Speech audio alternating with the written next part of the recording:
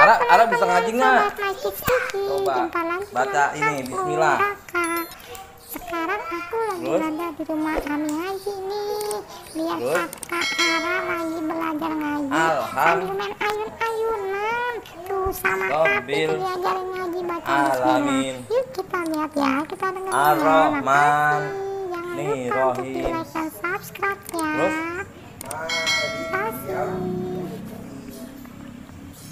Iya. Karena budu. Wa iya. Karena stain terus? Ih dinas siratal mustaqim. Siratal ladina an'am ta'alaihim. Walad dolin amin